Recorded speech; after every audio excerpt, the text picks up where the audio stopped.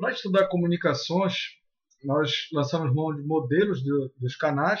Eles são importantes, já que os canais reais têm várias é, particularidades e a gente acaba precisando simplificar para poder trabalhar matematicamente com mais conforto.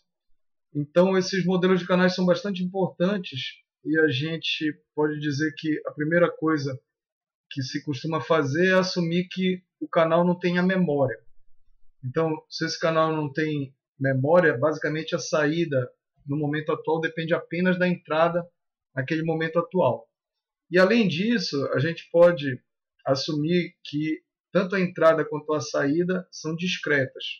Ou seja, os valores que podem ser assumidos pela entrada vêm de um conjunto finito e também os valores que podem ser assumidos na saída vêm de um conjunto finito, de número finito de elementos.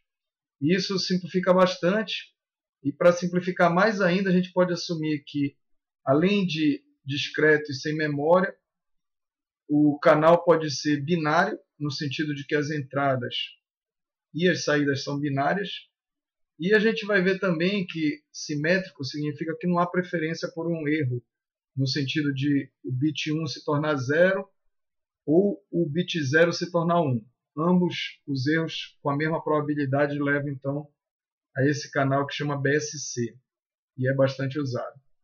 E diferentemente dos outros dois que possuem entradas e saídas discretas, os canais gaussianos eles têm a saída contínua. Então, a entrada é discreta, mas a saída é contínua, porque eles são modelados com um ruído aditivo branco e gaussiano que é basicamente uma variável aleatória contínua e daí a saída fica contínua, como a gente vai ver mais adiante.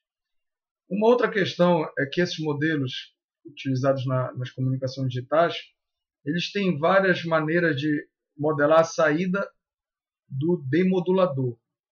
Então, por exemplo, o demodulador ele pode, pode se assumir que ele entrega para o decodificador bits ou então valores reais, por exemplo, no caso de um canal gaussiano, ele pode estar o demodulador entregando valores reais e um conceito é, é, que a gente vai ver relacionado é hard e soft decoding.